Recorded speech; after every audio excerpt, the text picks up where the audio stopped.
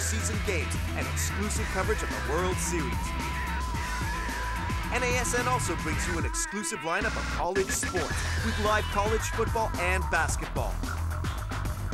And with a daily lineup of sports news, talk shows, highlights, and analysis, NASN is your channel for the very best in live North American sports. Visit NASN.com for scheduling news and information.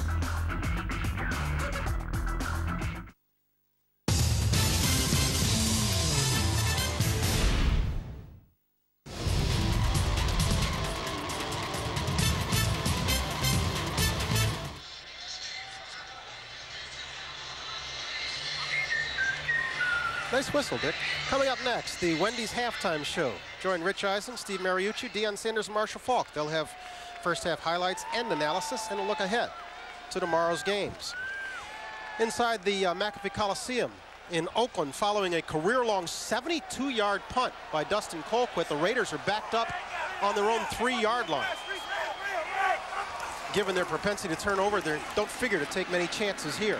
And they don't with the first carry, Justin Fargas to the five, trying to get him some operating room before Jared Allen brings him down. They're running right up behind Robert Gallery. Playing his first game in six weeks at the offensive left tackle spot, number 76, 83. Courtney Anderson coming off to the outside. Jared did a good job of pushing it back inside to his defense, but Robert Gallery, you know, they missed this son of a gun, and it, but in the missing him, Chaz Slaughter came on and did some good things playing in his backup role. Can we also de officially declare Gallery somewhat of a disappointment, considering he was a number two pick? Since, you know, number two pick in the draft overall, you bet. Fargas being stopped as he crosses the line of scrimmage, gets the Raiders out to the seven. And his, his defense, though, he's had a number of offensive line coaches teaching him something a little bit different well, every year. Well, I understand that, Dick, but again, when you're the second guy overall in the draft, at that point, you should be a little farther along than Robert Gallery is, no? Yeah, you would think so. And there's a man who knows something about tackle play. Yeah, you bet. I mean, he can have all He's the offensive, he can have all the line coaches he wants. He's yeah. got his head coach as a Hall of Famer. He can't play for him, though. Let's see how much Art Shell trusts Andrew Walter right here. Trusts him to throw it over the middle and get the first down. Completing that one to Ronald Curry. Walter is no different than any other quarterback. When you let him get back, set his feet, keep people away from him, they'll throw the ball most of the time accurately. And because he's a big, tall guy, he has good vision, he has a good, strong arm, but he's not a good buying the second chance type guy, and that's why he gets. And he's a guy who's known some success. I mean, he wrote, rewrote the Pac-10 record book in terms of touchdown touchdowns. throws, threw for 85 touchdowns while he was at Arizona State. He'll throw on first down. Pump fakes to this side and then dumps it off to Fargas. And Mr. Fargas meet Mr. Bell. Kendrell Bell is playing well tonight. He's playing better this year all year than he did last year. Last year he played uh, sort of nursing a bad shoulder. He, he, this guy was an impact player at, at, Pittsburgh, made the Pro Bowl one year. And uh, but that shoulder bothered him. This year he's playing much better and demonstrating that tonight, doing a nice job. That's one of those where Fargas was the safety valve, and actually yeah. after he took the hit, probably thought that was a bad yeah, idea. Bad idea to check part. it down yeah. there.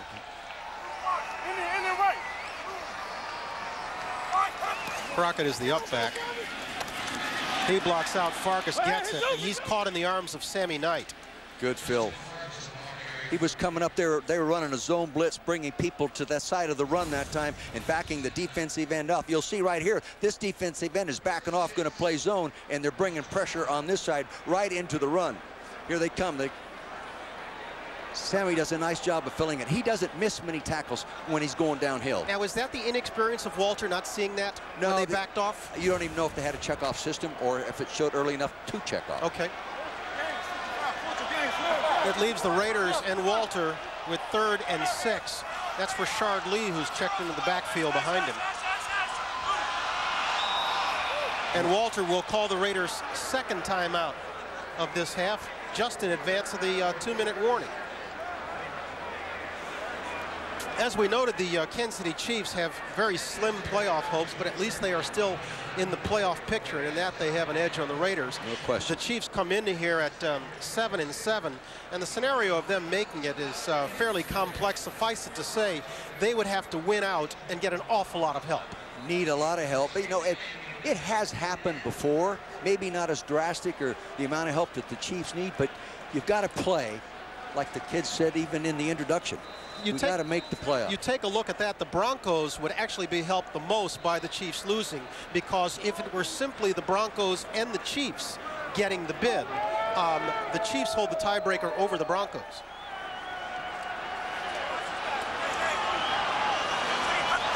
Let's see what the Raiders came up with during the timeout. Walter throws and completes. This one to Curry again. It is Ronald Curry. Gets us to the two-minute warning, keeps the Raider drive alive. They're marching, but they're trailing 10 to 6. Saturday Night Football on NFL Network is brought to you by Wendy's. Get in the middle of flavor. Do Wendy's new double melt and do what tastes right. Coors Light, Rocky Mountain Cold Refreshment, the official beer sponsor of the NFL. Nissan, who reminds you to shift the way you move through the world. Invincible, starring Mark Wahlberg on Disney DVD in stores now.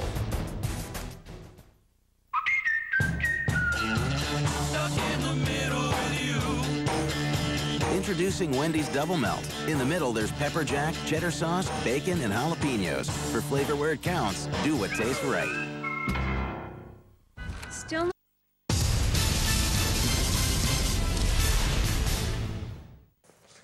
These guys look fantastic. I'm so proud. Join the Reebok Hockey Revolution. Visit NASN.com, your home for North American sports merchandise. Pretty fine evening so far. Not a lot of yardage, but he's protected the ball. Completed yes, he, 11 of 14. Yes, he has. Had it knocked out in the one sack and got the ball knocked out and a turnover. But uh, in that, he's, he's shown real poise. He really has. He's getting the start tonight because Aaron Brooks has a bit of a stinger. Of course, they've basically shared duty all year long. We had a nice conversation with Brooks yesterday, didn't we? I was impressed with him. So he was wasn't I. pointing the finger at anybody. No. He was defending his coach, no, defending was, his teammates. He was terrific. He and, really was. And maybe a little upset with a few guys. Yeah, I think so. I think so. We asked him what happens when you call out guys for not trying. Yeah. And he gave us that blank stare, which said, you know what, some guys here just don't get it. Get it. First down for Walter and the Raiders. Walter throws this one a little bit behind Courtney Anderson. Derrick Johnson on the coverage. We noted that the uh, Raiders have had trouble scoring uh, touchdowns this year. We can put trouble with a capital T. Look at that, will you? The Raider team, 12 touchdowns. Look at everybody else. Look at the individual. individuals that, Look he, that they trail. 31. Look at Larry's 15. You know you're in trouble. I've never seen an offensive team with numbers like that. Unf unfortunately, neither is Art Shell. Yeah. Nor Al Davis.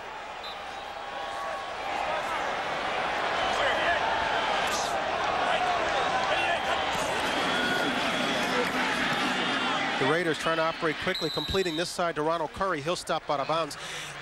As you would expect of a team that has only scored 12 touchdowns all year long, take a look at this number. 70, 70 offensive plays 70 offensive stats. per touchdown. Now, to give you an idea, let's put that in some perspective. The NFL average is 30. Right, and San Diego Chargers was one every 17. Yeah, they've done 70. One touchdown every 70 plays. You can't win like that. No. You can't even be competitive like that. Walter trying to keep the drive alive. Completes again to Curry. He likes Curry tonight. Curry getting it back close to midfield before well, going out of bounds. Well, he comes into the game their leading receiver, you know, and he's been stepping up and growing. As you said, a converted quarterback out of college, a smooth, gifted athlete. Played on the basketball team as well at North Carolina, so he's he's a gifted athlete. Mark Loomis, our producer, just pointed out there they're halfway towards their 70 for uh, for the touchdown. They've got 33 offensive plays. Of course, it remains to be seen if they can put up the six. Walter will throw again, losing his footing and losing the ball. It's free, and Jared Allen makes the recovery.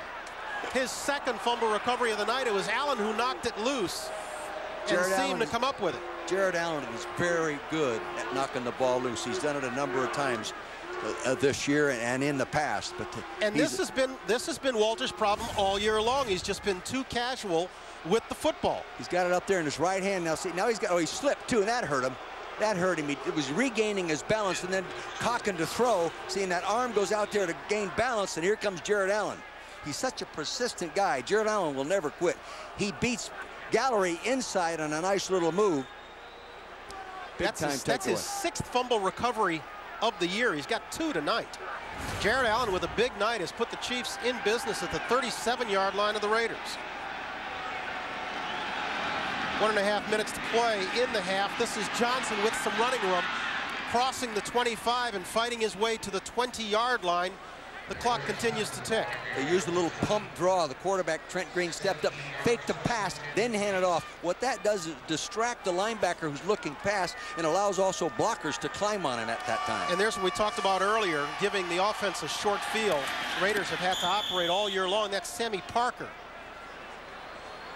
catching this one to the 12-yard line. Throwing it over there on Asomugha. The uh, Chiefs in no big hurry. They still have two timeouts. Green will throw wide. Gonzalez. Nnamdi Asomugha pushing him out on the far side. They're throwing a lot over there for a guy that's picked off the ball seven times this year. You know? Well, seven times this year, but none until this year. I know it. He's really come on strong. Trent is back in rhythm right now. You notice that? And again, we call your attention to the possibility of a big touchdown for Tony Gonzalez. Should he catch one, he will tie Shannon Sharpe and for touchdown receptions all time by a tight end in the National Football League.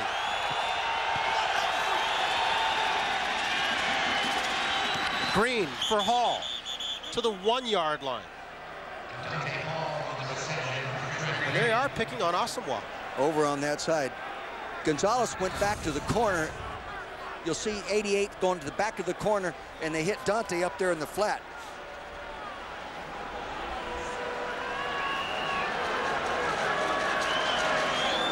We're inside 45 seconds to go in the half. And Larry Johnson is checked back in as the Chiefs go in tight formation. Chris Wilson is the up back. Wilson goes one way, Johnson the other. Touchdown Chiefs. Larry Johnson gets his 14th rushing touchdown.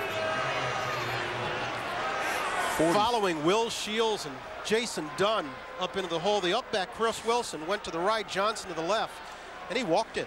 Yeah, Will following the right guy and Will Shields. He's this is his 223rd game, all in Kansas City. Consecutive. All in Kansas. All in Kansas City. And Lawrence Tynes will try to boost it to a 10-point lead. And he does. With 40 seconds to play in the first half, the Chiefs have opened this one up 17 to 6, capitalizing on a couple of Raider turnovers. The first one led to a uh, field goal by Lawrence Tynes, and this one, Jared Allen knocks free and comes up with yet again, and the Chiefs waste little time marching down the field. Larry Johnson completing the drive, taking it in from one yard out, giving the Chiefs a 17 comes Will Shields to six lead.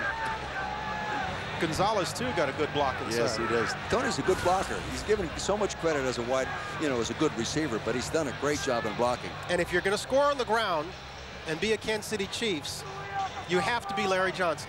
That's the 30th consecutive rushing touchdown for the Chiefs by a guy named Larry, Larry Johnson. Johnson. He's a workhorse. Of course, he, Yes, could, he he caused a bit of trouble this week, too, by saying he was basically tired of this stuff, um, tired of what the Chiefs were running, said things had to change. Well, Um, you- you caused know- a bit of a stir, and Herm didn't like it. You have to know Larry. You have to know him to understand him, you know, and he, I don't think he's, most of the time does he really mean anything negative about it, but he, he gets frustrated. And then he, when he's frustrated, sometimes he says things he'd like to take back. Chris Carr takes this one on one hop. He comes back to the 40-yard line. Here's actually the quote. Let's listen in to what Johnson had to say last week after the loss to San Diego. Everybody's saying, "Oh, it's it's fine, it's okay." I don't know who who in their mind thinks this is okay because this this ain't this none of this is okay. I don't want to hear the videotape. I'll talk to Larry. That's good enough. That's all I need to do. You guys are trying to make. Well, here. here. Okay. Well, I'm just. He's fine. We're fine. Everybody's fine. And True was- or not, it was perceived that Larry threw Herm and his offense under the bus. Well, I don't know that. I know I was there for two days and it was a dead issue. It was not even mentioned. Moving to 30 seconds left in the first half. Walter throwing for Curry, throwing incomplete. I had a chance to talk with Herm yesterday, and I pointedly asked him about it. And, and Herm said, look, he, he's a young guy. He was frustrated because in a marquee matchup with LaDainian Tomlinson, he had been outgained. 199 to 84. And Herm said, I talked to him, I said, look, you just got to watch what you say. Because guys are waiting for it, you got to watch it.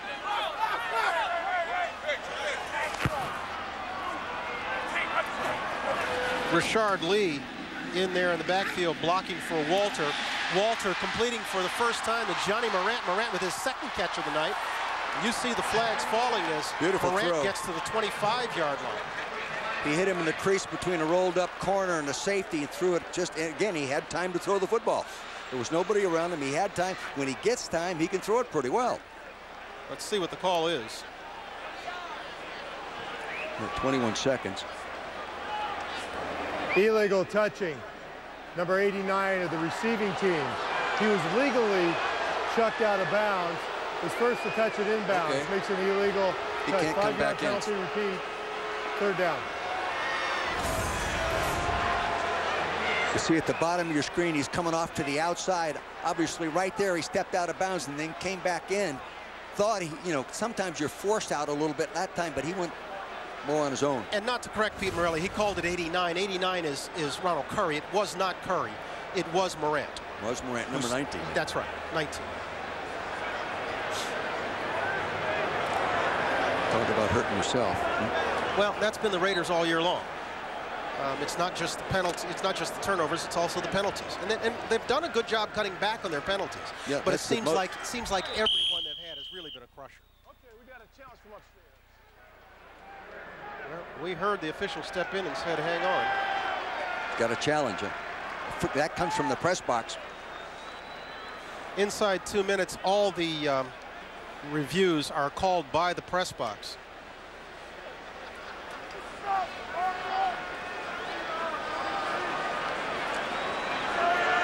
And so Pete Morelli will march back and go under the hood once again. At stake here is a 37-yard gain. We'll see if we can get another look at it here. Up there and Patrick Sertan. Yeah, oh, he's out of bounds. He Yeah. stepped out of bounds. That one's pretty clear. Yep. That one's pretty clear. Yep. Easy to call. Not to belabor the point, but I just want to put a period on this Larry Johnson, Herm Edwards thing. Larry is a guy who had some tempestuous moments with you. Oh, yeah. When you were Sure. in Kansas City, we all remember Diapergate. Yeah, that was my fault. That was a And, bad, uh, bad kind of, bad choice of words by me. And he's a sensitive kid. Yeah. He's a kid who, who, who speaks a lot. Um, oftentimes his mouth outraces his head. Yeah. And I- basically that's what Herm told him. Herm said, hey, you know what? We understand your frustration, um, but you got to watch what you say. You're now a professional. Um, things are taken a lot of ways. You got to watch it. Try to look at the big picture. And you're a star. And You you're know, a star. But I think a lot of it, he is such an intense competitor. That he, some, In replay, you cannot review a foul. The player did step out of bounds. The ruling on the field stands. Yeah. So I guess there was some discussion that the reason he was out was because of an illegal chuck. He says you can't review a foul. I don't, I don't quite understand that, frankly, but I'm not sure why they called him back under the hood, but in any event, 37-yard gain is negated. We have 21 seconds left in a first half that saw the Raiders score the first points, but has seen the Chiefs march out to a 17-6 lead.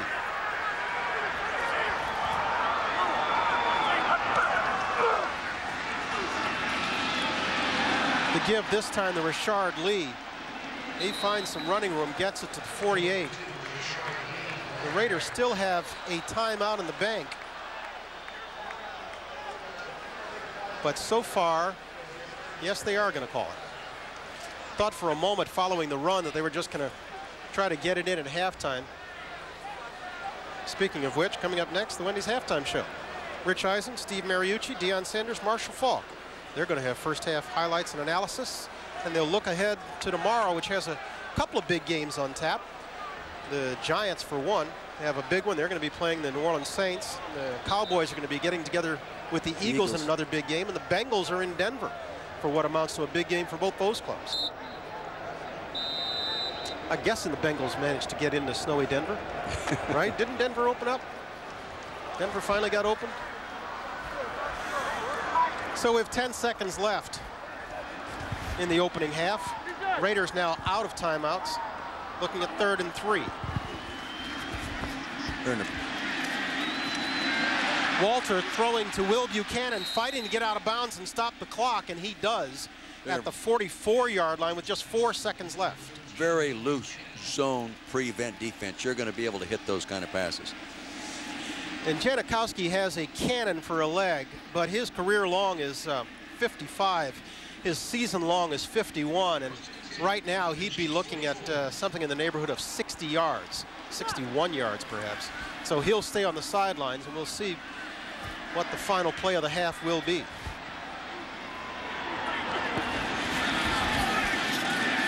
Andrew Walter will toss this one into the end zone. Hail Mary. Nothing but white jersey Chiefs down there. Jarrad Page is going to run it out. There's a rookie running that out of there. This isn't a great idea. No. I didn't I didn't see any black jersey down no, there. No, that's what the fans are saying. You can hear them saying the same thing, only they're translating it to boo. and with that, we'll go to the half with the Chiefs out in front, 17 to 6. Rich Eisen and the guys are coming along with the Wendy's halftime show. Chiefs leading the Raiders 17 to 6.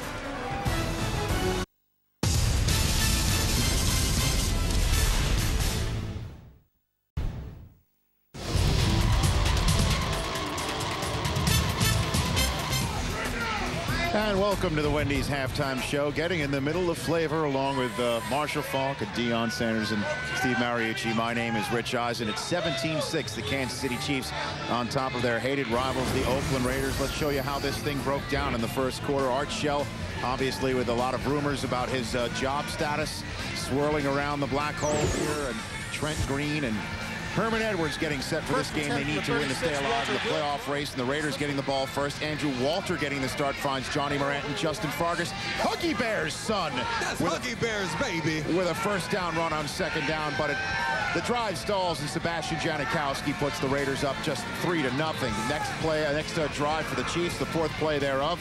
Larry Johnson around the end for 10 yards. Three plays later, it's third and eight when Warren Sapp bags himself some Trent Green, but this is called an incomplete pass. So it's fourth and eight, too long to attempt a field goal. The Chiefs go for it, and Sammy Parker picks this ball up off the turf. The flag is on the Raiders, who challenge it, but it's a good call. Right there is a really good catch. Looked like the ball hit the ground, but no challenge right there, and they first down. Third and goal, and it's Trent Green just shoehorning this puppy into Eddie Kennison for a touchdown. Chiefs go up 7-3.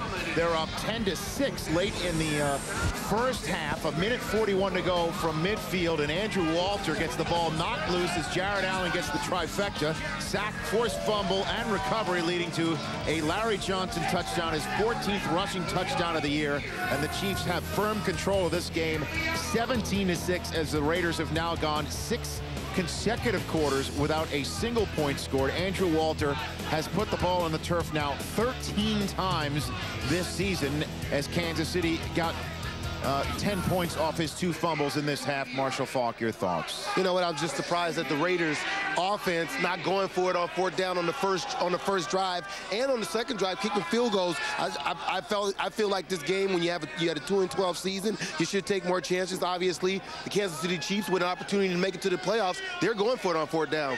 It's, it's one thing to see this on television but it's another thing to see this live.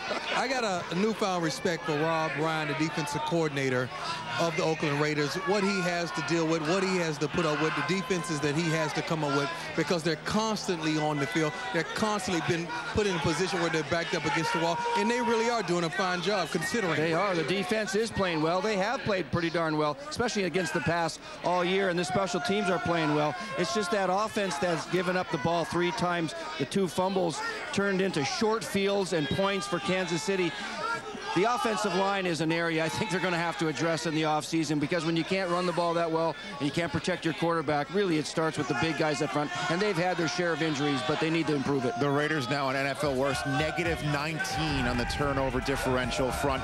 Hey, Christmas Eve, folks, tomorrow night, 8 Eastern time, a special two-hour edition of NFL Game Day. Join me, Santa Sanders, and Santa Mooch Christmas Eve on NFL Network. It is 17 to 6, a rough core, a rough half for Andrew Walter. Trent Green has the Chiefs on top in a must-win game here in the black hole. More with the rest of Week 16 when we come back.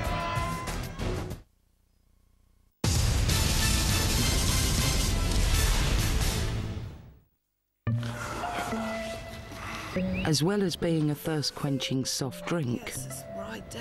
A Sprite is also a sort of goblin. This Sprite is not so refreshing at a festival.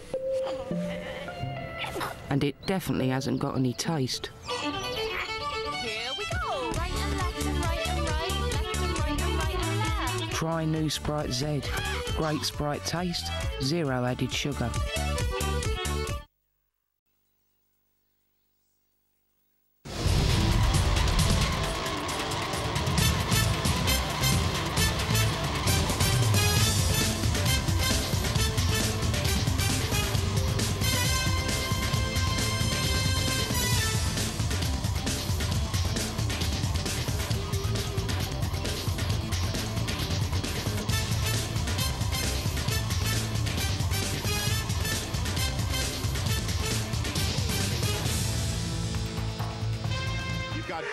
Cincinnati, the two AFC wildcard teams as of this moment. That's a huge game with certainly huge ramifications. I talked to Chad Johnson. He called me the other night trying to make my phone ring on the air as if I wasn't professional.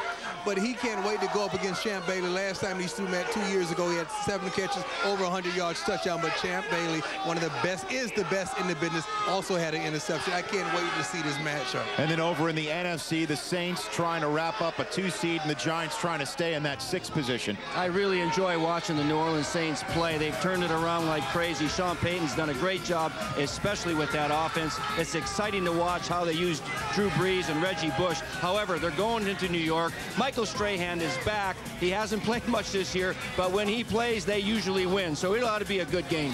So uh, the Giants are holding the sixth spot in the NFC. It's something that the Kansas City Chiefs would love to hold by season's end. But in order for that to happen, they've got to continue with what's going on in the first half of this ball game tonight. So uh, uh, we're going to all be back here for the Home Depot post-game You show. sure? Yeah, we are. I don't know about that. Actually, the Black Hole's been great to us so far. They were screaming at us, but they're, that's all it is. It's fantastic. It's a lot of fun. They, they, one of them even gave me a candy cane saying we're not all that bad. I may not come back, bro. It's touching, touching Christmas story here. All right, 17-6 Chiefs leading. Second half next. Thank you for watching the Wendy's Halftime Show. Get in the middle of flavor. Do Wendy's new double melt and do what tastes right.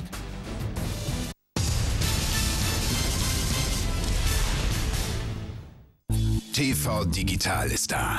14 Tage volles Programm. Top-Übersichtlichkeit im großen Format. Neu und einzigartig in Deutschland. Komplett mit allen Programmen von Kabel Digital Home. Plus ARD, RTL, Pro7 und Co. in einem Heft. Alle 31 Kabel Deutschland Programme mit Bewertung und allen Sendeterminen. Bestellen Sie jetzt Ihr Abo unter 080 5 99 77 44. TV Digital. Das ist die Zukunft.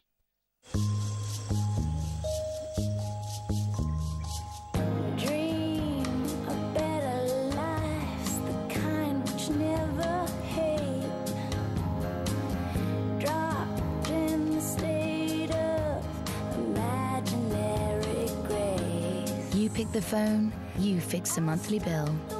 So you always know what's coming. You fix from T-Mobile. The celebration for the Seahawks, 30 years in the making. The best team of the National Football.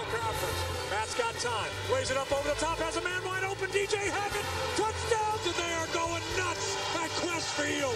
This guy is something else. Up for grabs. Ball is caught. Touchdown Seahawks. The Seahawks made that look easy.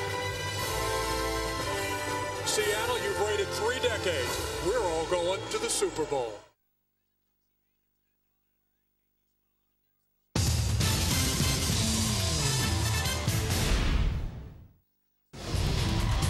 Uh, Justin Fargas's running actually got on the board first with a field goal. But then uh, Green came out, marched Chiefs down the field, threw a touchdown pass to Eddie Kennison. They added a field goal, and then Jared Allen forcing the fumble here with his second fumble recovery paves the way. Larry Johnson taking it in. The Chiefs wind up leading the first half 7 to 6. We came into this ball game talking about the Chiefs, the Raiders' woeful offense, their problem with turnovers, and we're seeing evidence of both tonight. Yeah, both. They actually have the numbers offensively, but those tur two turnovers really, really have killed them. They produced, uh, the Chiefs produced 10 points off those two turnovers. And the last interception, I don't count. That's yeah, you don't count that ball one. game like that. And, but and for the Raiders, speaking of numbers, um, there's bad news and there's worse news. The bad news is they're trailing at halftime, and they've lost 11 straight when trailing at halftime.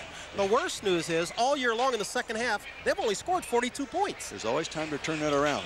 There's always time to turn that around. You know, and they they're playing halfway decent football, I think, in, in terms of moving the ball and those kinds of things, but they've hurt themselves with those turnovers. And as we get set to start the second half, we get an opportunity to tell you again that this game is being presented to you in HD. I totally don't know what that is, but I want it. Um, they're out in front, and Janikowski will kick it away. Art Shell looking for some offense. Just 42 points in the second half. How bad is that, Dick? I can't, I don't have anything to compare it with. Man. Dante Hall. Slipping at the 23. They'll probably give him the 24 before the Chiefs brought on the field. Larry Johnson will come back out along with Trent Green. And actually, the Raiders have done a good job on Johnson tonight, They've- don't you think? They've kept him running toward the sideline. You know, even when he bounced inside, they were trying to push him to the sideline. The good run that he had was when he started to the left, got outside, and then ran his own reverse. Came all the way back and made a good run. His opposite number, Fargas, actually has 20 more yards on the ground. That's a career high for Justin Fargas. He gets stronger, though, as the game goes. Larry does. And the numbers say Fargas does not. Good point. Johnson spinning out of one tackle and crossing to about the 33-yard line. Stuart Schweigert coming up to stop it. See, he is so strong. He has great balance. He can make the he can make the dramatic cuts that a smaller back can make. But here he is at 230 pounds and 4.38 speed. But you know the other thing about Larry that I've always uh, appreciated, he he runs angry. He really can get himself in an angry frame of mind. Herman Edwards would second that, I'm sure, this week. Johnson trying for the first down, but Warren Sapp was there. It looked like Michael Huff came up and got a piece of it, too. Warren Sapp is a big guy, though he's playing, uh, they say, at about 310 pounds. He's play, played heavier than that. Here he is on the number six- 90 and working there with number 76 there. John Welbourn. No place to go. That Huff's going to be a good player, isn't he, Dick? Yes, he is. Is their number one draft pick out of Texas, seventh player taken. Larry Johnson skipping this one outside, crossing the 40, and being bulled out the 45-yard line. We've got our first flag of the second half. There's a bunch of Raiders who are Holding. pointing the other way. Real Holding. good. Number 89. Offense, 10-yard penalty remains. Third down. That's Jason Dunn, who is listed as the um, second tight end. Yeah, he's a big, strong, physical blocker. See, he gets that arm right there. His left arm has got him by the shoulder pad up on top. And Larry running with great patience at that time. Rather than flying up in there blindly, he gets up in there and then again bounces to the Is outside that to get something the he's first down. learned, Dick, or did he come in